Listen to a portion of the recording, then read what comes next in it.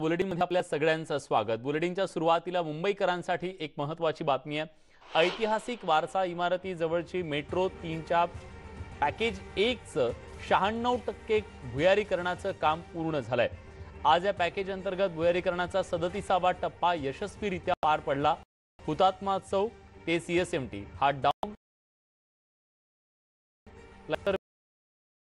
Metre चारशे अठरा रिंगच्या साह्यानं एकशे सहा दिवसात पूर्ण झालाय. या भुयारीकरणासह पॅकेज एक मधील कप परेड ते सीएसएमटी दरम्यान एकूण दोन पूर्णांक नऊ किलोमीटर लांबीचं डाऊन लाईनचं भुयारीकरण आता पूर्ण झालंय. त्यामुळे मुंबईच्या पोटात जे मुंबईकरांचं स्वप्न साकार होत आहे ते स्वप्न अधिक वेगानं पुढं जातंय असं म्हटलं तर वावगं ठरणार नाही. गेल्या अनेक दिवस काम सुरू होतं आणि अखेर ते यशस्वीरित्या एक एक टप्पा पार करत पुढे जात आहे. स्वाती लोखंडे ढोके आपल्या प्रतिनिधी आता आपल्यासोबत आहेत. स्वाती हा टप्पा मेट्रोच्या एकूण प्रगतीमध्ये किती महत्त्वाचा आहे? किती अवघड हा सगळा टप्पा होता? कारण महत्त्वाच्या इमारती या सगळ्या परिसरात आहेत.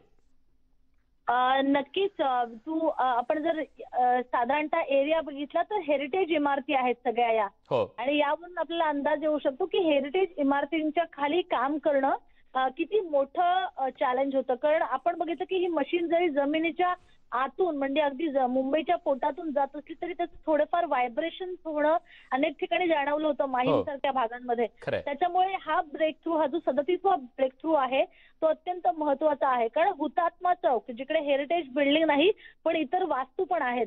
तर हुतात्मा चौक ते सीएसएमटी हा मार्गातला हे भुयारीकरण होतं. आणि या भुयारीकरणानंतर म्हणजे या ब्रेक थ्रू नंतर मुंबई मेट्रोचं पंच्याण्णव टक्के भुयारीकरण पूर्ण झालेलं आहे.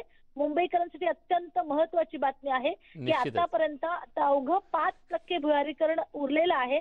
जे होऊन मग मुख्य कामाला सुरुवात होईल. नक्कीच. मुंबईकरांसाठी ही खूप पॉझिटिव्ह बातमी म्हणावी लागेल. मेट्रोचं स्वप्न साकार होण्याच्या दृष्टीनं. धन्यवाद तुम्ही दिलेल्या सगळ्या सविस्तर माहितीबद्दल. यानंतर बातमी कोरोनाच्या आजच्या आकडेवारी संदर्भातली. महाराष्ट्रात कोरोनाचा कहर सुरूच आहे. राज्यात आज दिवसभरात पुन्हा एकदा सदुसष्ट हजार तेरा नव्या रुग्णांची नोंद झाली. बासष्ट हजार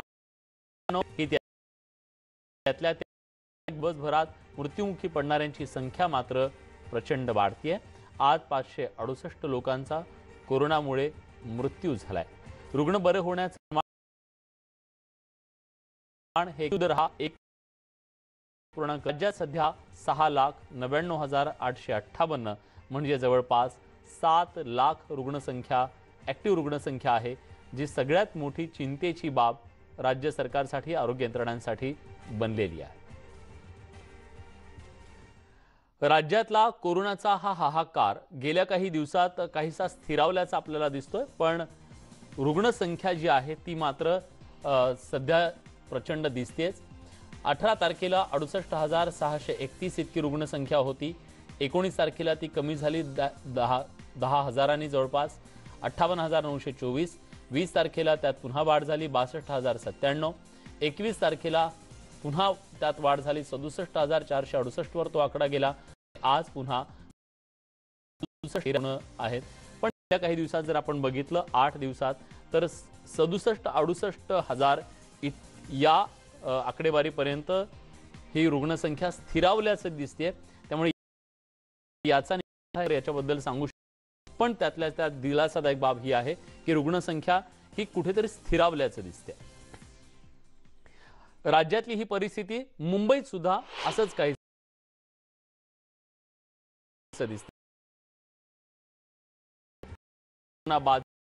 आनंदाची खरं तर दिलासादायक बातमी म्हणूया की मुंबईतल्या नव्या रुग्णसंख्येपेक्षा डिस्चार्ज ज्यांना मिळाले ना ते कोरोनामुक्त झालेल्या रुग्णांची संख्या ही जास्त आहे. आठ हजार नव्वद रुग्ण आज एका दिवसात कोरोनामुक्त झालेले आहेत. तर नव्या रुग्णांची संख्या ही सात हजाराच्या घरात आहे. मुंबई दिवसभरात पंचाहत्तर कोरोनाबाधितांचा मृत्यू झाला आहे कोरोना रुग्ण दुपटीचा कालावधी वाढतोय ही मुंबईकरांसाठी खूप दिलासादायक बातमी आहे. कारण पन्नास दिवसांवरती हा दुपटीचा जो कालावधी आहे तो गेलेला आहे आणि मुंबईकरांसाठी ही पॉझिटिव्ह बातमी कारण गेल्या काही दिवसामध्ये सात ते आठ हजार दिवसाला इतकी रुग्णसंख्या येते आणि हा आकडा कुठंतरी स्थिरावल्यासारखं दिसतंय. आणि हा आकडा स्थिरावणं दुपटीचा जो कालावधी आहे तो वाढत जाणं पन्नास दिवसापर्यंत जाणं आणि डिस्चार्ज मिळणाऱ्या रुग्णांची संख्या ही नव्या रुग्णांपेक्षा जास्त असणं कारण आरोग्य यंत्रणेवरची जो ताण आहे तो निश्चितपणे याच्यामुळे कमी होऊ शकतो रुग्णसंख्या कमी होऊ शकते. तर या सगळ्या परिस्थितीवर मात करण्यासाठी नवी कठोर अशी नियमावली सुद्धा आता राज्य सरकारकडून बनवण्यात आली आहे. आज रात्री आठ वाजल्यापासून त्याची राज्यभरात अंमलबजावणी सुद्धा सुरू झालेली आहे. ही नवी कठोर नियमावली नेमकी काय? तर प्रवासाची मुभा लोकलमध्ये आता अत्यावश्यक सेवेतील कर्मचाऱ्यांनाच असणार आहे. सर्वसामान्यांना प्रवेश असणार नाही. आय कार्ड दाखवूनच तुम्हाला प्रवेश मिळणार आहे. उपनगरीय रेल्वे सेवेच्या प्रवासावर मात्र निर्बंध घातले गेलेले आहेत. केंद्र राज्य स्थानिक स्वराज्य संस्थांच्या कर्मचाऱ्यांना लोकल मेट्रो मोरोमध्ये परवानगी असणार आहे. डॉक्टर परिचारिका निमवैद्यकीय कर्मचाऱ्यांना प्रवासासाठी मुभा असणार आहे. आंतर जिल्हा प्रवास महत्त्वाच्या कारणांसाठीच करता येणार आहे. आतापर्यंत त्याच्यावर निर्बंध नव्हते. मुंबईत खाजगी गाडीत प्रवास पन्नास टक्के क्षमतेनं करता येणार आहे. खाजगी बसेस पन्नास टक्के क्षमतेनंच धावतील. उभ्यानं प्रवास करता येणार नाही. आंतर जिल्हा प्रवासासाठी स्थानिक आपत्कालीन व्यवस्थापनाची परवानगी आवश्यक असणार आहे. लग्न समारंभासाठी फक्त पंचवीस जणांना परवानगी मिळाली आहे. तीही अवघ्या दोन तासात एकाच हॉलमध्ये दोन तासात लग्न समारंभ पार पाडायचा आहे. नियमांचं जर उल्लंघन केलं तर मग पन्नास हजारांचा दंड ठरलेला आहे. कार्यालयीन उपस्थितीबद्दल सुद्धा काही कठोर निर्बंध घातले गेलेले आहेत. सर्व कार्यालयांमध्ये केवळ पंधरा टक्के उपस्थिती अनिवार्य असेल. अत्यावश्यक सेवाच्या कार्यालयांमध्ये जास्तीत जास्त पन्नास टक्के कर्मचाऱ्यांची उपस्थिती ठेवता येईल. तर या सगळ्या कठोर निर्बंधांची अंमलबजावणी आज रात्री आठ वाजल्यापासून सुरू झालेली आहे आणि या कठोर निर्बंधांचं पालन पुढच्या एक तारखेपर्यंत आपल्या सगळ्यांना करावं लागणार आहे. दरम्यान मुख्यमंत्री उद्धव ठाकरेंनी ओडिशाचे मुख्यमंत्री नवीन पटनाईक यांच्याशी संवाद साधला यावेळी त्यांनी महाराष्ट्राला ऑक्सिजनचा पुरवठा केल्याबद्दल त्यांचे आभार मानले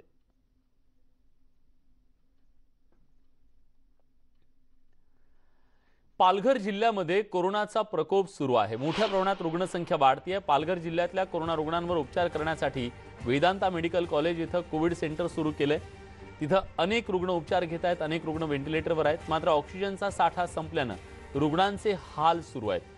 प्रशासनानं लवकरात लवकर ऑक्सिजनचा पुरवठा करावा आणि रुग्णांचे जीव वाचवावेत अशी मागणी करण्यात येते राज्यात जवळपास सगळीकडेच ऑक्सिजनचा पुरवठा सुरळीत होत नाहीये. अनेकांचे जीव त्याच्यामुळे धोक्यात आलेले होते. न्यूज एटीन लोकमतच्या बातमीनंतर वसई विरार महानगरपालिकेच्या प्रशासनानं पुढाकार घेऊन वसई विरारमध्ये ऑक्सिजन गॅस टँकर भाड्यानं घेऊन जास्तीत जास्त पुरवठा होईल या दृष्टीनं प्रयत्न सुरू केलेत. हा पुरवठा अजून वाढवण्याची मागणी रुग्णालयातले कर्मचारी करत आहेत माझ्यासोबत एक अशाच रुग्णालयाचा इसम आहे. त्याच्याकडून आपण जाणून घेऊया की नेमकी ऑक्सिजनची सध्याची परिस्थिती आहे. काय सांगशील मला? कधीपासून तुम्ही इथे आलेला आहे? किती वेळ थांबायला तर इथे आलं की कम से कम चार तास लागतातच एवढी लाईन असते. आणि एका वेळेस चार तासाचा भेटला की ते आम्हाला तिथे हॉस्पिटलला नेऊन पण चारच तास पुरणार. म्हणजे पुढच्या चार तासाची गडबड लगेच आम्हाला करावी लागते. गेले तीन चार दिवस अक्षरशः झोपलेलो पण नाही होतो मी पण काय करणार? रुग्णांसाठी करावंच लागतं तेवढं. कुठून कुठे जावं लागतं? कुठे कुठे तर इथे आमची दिवसातून एक फेरी असते जर इथे नाही भेटला तर मुंबईला जा. मुंबईला नाही भेटला कल्याण साईडला जा. कुठे ना कुठे आम्हाला जावंच लागते कारण की रुग्णांचा जीव वाचण्याचा प्रश्न असतो ना. शेवटी जबाबदारी आमची पण. जरी गव्हर्नमेंट उपलब्ध करून देत नाही हवा तेवढ्या प्रमाणात तरी पण आम्हाला तर करावा लागणारच ना रुग्णांसाठी. सरकार म्हणते की आमच्याकडे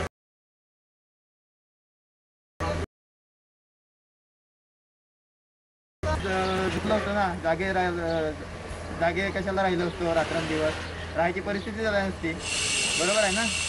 का झो का झोपलो नसतो? काय काय मागणी आहे तुमची? काय व्हायला पाहिजे? तर ऑक्सिजनचा पुरवठा व्यवस्थित द्यावा सरकारने बस दुसरी काहीच मागणी नाही. किती रोजची मागणी आहे तुम्हाला? तर आम्हाला पाच दिवरा लागतात दिवसाला. आणि तेवढे पण आम्हाला भेटत नाही. शक्यतो दोन इथून भेटले तरी संध्याकाळचा प्रश्न निर्माण म्हणून वन वन भटकावंच लागतं अख्खा देसाई न्यूज एटीन लोकमत. नाला सोपारा. चार चार पाँच सौ आता था दबाव थोड़ा बढ़ गया है। मेडिकल ऑक्सीजन का ज़्यादा पैसा है। कितना लोग कह रहे हैं कि हमको सिलेंडर नहीं मिल रहा है? नहीं अभी तो हम लोग फ़िलहाल दे रहे हैं। जब तक हम लोग लिक्विड मिलता रहता है हम लोग बराबर भर भर के देते रहते हैं। अभी अपने पास कितना बचा है कितना है? अभी है चौदह पंद्रह टन। चौदह पंद्रह टन है। राज्यभर हीच कमी अधिक प्रमाणात परिस्थिती आहे. द्रवरूप ऑक्सिजन पुरवठा निम्म्यावर आलाय. त्यामुळे रिफिलिंग प्लांटना पुरवठा कसा होणार? हा सवाल आहे. पुण्याच्या शिंदेवाडीतल्या प्लांटचं हे वास्तव आहे. पुरवठा पन्नास टक्क्यांनी अनेक अडथळे येत आहेत. लागणारा द्रवरूप ऑक्सिजन तयार केला जातो. याच परिसरात असणाऱ्या शिंदेवाडी भागातल्या रिफिलिंग प्लांटमध्ये द्रवरूप ऑक्सिजनचं वायू द्रवरूप रुग्णांसाठी ऑक्सिजन बनवण्यासाठी लागणाऱ्या द्रवरूप ऑक्सिजनचा पुरवठा निम्म्यावर आलाय. त्यामुळे पुढची प्रक्रिया करून ऑक्सिजन निर्मितीसाठी मोठ्या अडचणी येत आहेत. सध्या इथं चोवीस तास काम सुरू आहे. पण पोलीस आणि तलाठी यांची सुद्धा उपस्थिती असते. या प्लांटवर रुग्णालयाचे टेम्पो टँकर रुग्णवाहिका यांची अखंड वर्दळ सुरू आहे. पण त्याचा पुरवठा होत नाहीयेत म्हणावा तसा आणि त्यामुळे अनेक अडचणी येत आहेत. चाकण हा जो औद्योगिक भाग आहे तिथं मुळात ऑक्सिजनचं उत्पादन होतं. मात्र तसं तसं तो देत आहेत हॉस्पिटल. तिथून इथं साधारणतः खेडशिवापूर रस्त्यावरती कात्रज जवळ वेगवेगळे प्लॅन्ट आहेत रिफिलिंग असं म्हटलं जातं. म्हणजे तो सगळा ऑक्सिजन जो तयार होतो इंडस्ट्रियल एरियामध्ये तो इथं आणला जातो. फॉर्मॅटमध्ये असतो. आणि त्याच्यावरती प्रक्रिया करून त्याचं गॅसमध्ये कन्वर्ट केलं जातं आणि अशा पद्धतीनं तो सिलेंडरमध्ये भरला जातो. आणि त्यानंतर वेगवेगळी जी रुग्णालयं आहेत त्या रुग्णालयांना तो पुरवला जातो. मी आपण जर बघितलेच आहे आणि सध्या खरोखर चोवीस तास इथं काम सुरू आहे आणि तरी देखील तुटवडा आहे. अभूतपूर्व अशी परिस्थिती आहे आणि आपण अ, दृश्य बोलके आहेत की या ठिकाणी सुद्धा मॉनिटरिंग करण्यासाठी शासनाने तहसीलदार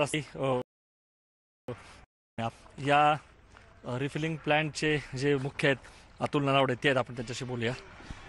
काय परिस्थिती सध्या? अभूतपूर्व परिस्थिती असं मी ऐकलं की चोवीस तास काम सुरू आहे तरी देखील ऑक्सिजनचा तुटवडा आहे. गेले कित्येक दिवस साधारणतः गेले आठ ते दहा दिवस झाले कन्झम्पशन वाढलेलं आहे. आणि जशी जशी पेशंटची संख्या वाढत चालली हॉस्पिटल तसं तसं ऑक्सिजनचा तुतडा असं आपल्या प्लॅनची क्षमता किती आहे साधारणतः? किती इथं ऑक्सिजन जो आहे तो गॅस रूपामध्ये. आम्ही सव्वीस टन ऑक्सिजन आम्ही स्टोरेज करू शकतो. आणि सध्या आमची डिमांड आहे साधारणतः वीस टन अठरा ते वीस टनाच्या दरम्यान आम्हाला दररोज सप्लाय करावं लागतं हॉस्पिटल्सला आमच्याकडे साधारणतः तीस बत्तीस पुणे शहरामध्ये हॉस्पिटल आहेत. आणि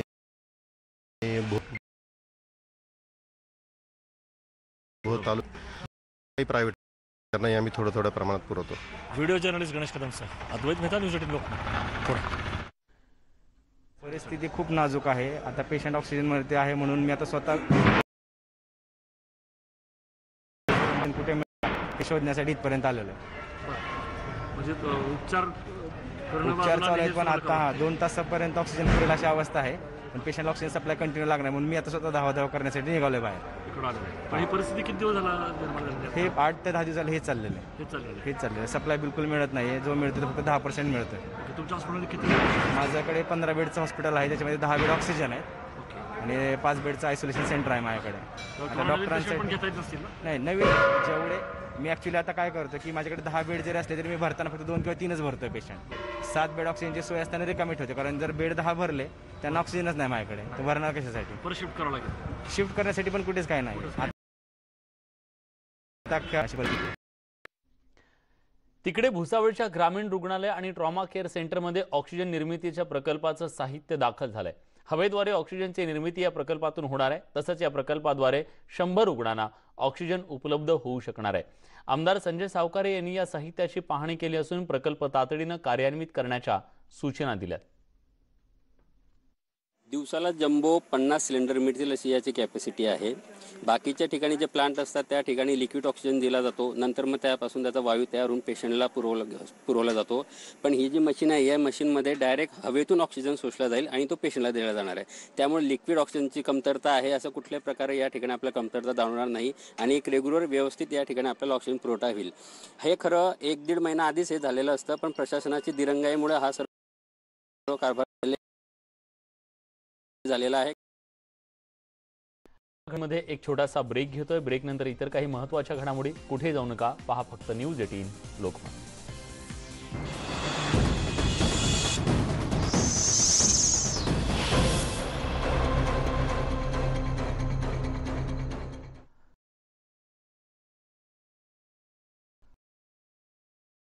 नागपूरच्या ग्रामीण भागात कोरोनाचा प्रकोप वाढत चाललाय. नागपूरच्या पारशिवानी तालुक्यातल्या सटा गावात मागच्या अठरा दिवसात अठरा नागरिकांचा मृत्यू झालाय. मात्र यातील फक्त तीन जणांची कोरोना चाचणी धकाल्या बाब समोर आली आहे. दोन हजार असलेल्या सटा गावात रुग्ण आहेत जे मृत्यूच्या नंतर पॉझिटिव्ह असल्याचं समोर आलं. म्हणून नागपूर जिल्ह्यातील साटक या गावी पार्श्वनी तालुक्यातील हे गाव आहे. या गावात गेल्या एक महिन्याच्या काळामध्ये एक वीस ते पंचवीस लोक मेले आहेत. आणि महत्त्वाची गोष्ट म्हणजे याच्यावर कुठल्याही शासन यंत्रणेच्या व- मध्ये हे द- दखलसुद्धा नाही की इतके लोक मेले म्हणून. आणि सत्ताधारी लोक आम्ही हे करतो ते करतो आणि विरोधी लोक त्यांना खाली दाखवण्याचा हाच प्रयत्न सुरू आहे. आमचं म्हणणं आहे की जे काही आहे ते स- एकदा हा कोरोनाचा काळ निघून गेला त्याच्यानंतर आपण एकामेकाला काय करायचं कोणत्या हिशोबाने पाहायचं ते पाहून घेऊ. परंतु आज सगळ्यांनी एका ठिकाणी मिळून ह्या सगळ्या समस्येवर या महामारीवर आम्हाला एक मार्ग शोधायचा आहे. तेव्हा कोरोनाचं हे संकट आपल्या सगळ्यांना परतवून लावायचं असेल तर सरकारनं आजपासून नव्यानं जे नि निर्बंध घालून दिलेले त्या सगळ्याचं काटेकोरपणे पालन करणं गरजेचं आहे. कोरोनाची ही चेन ब्रेक करण्यासाठी आणि गरजेचं आहे हा मास्क आपल्या सुरक्षेसाठी आणि आपल्या प्रियजनांच्या सुरक्षेसाठी सुद्धा. तेव्हा हा मास्क नक्की वापरा. कोरोना काळ. यासोबत बुलेटिनमध्ये आपण इथेच थांबतोय. ताज्या घडामोडींसाठी बघत रहा न्यूज एटीन लोकमत.